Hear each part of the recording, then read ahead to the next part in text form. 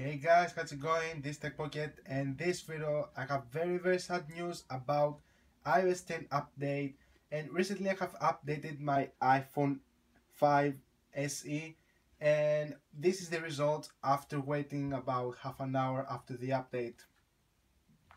Yeah, many many of you might have seen this um, this little iTunes with a cable. I'm very very disappointed about Apple because after because I was waiting for iOS 10 for quite a while and after I click updated update to iOS 10 wait wait for a couple of minutes and then I saw this and I'm very very disappointed about that. Um, just very very disappointed because my iPhone now doesn't open doesn't turn on my only option is to uh, fully factory reset it so that's why I am downloading the software to completely reset it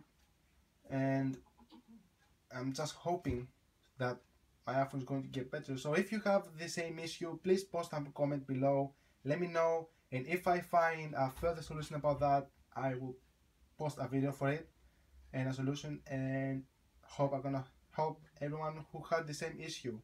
So that was just a very quick video.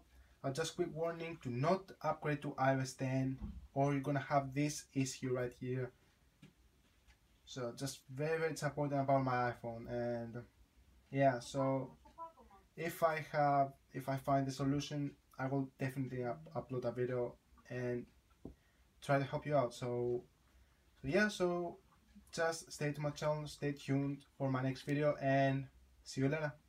Bye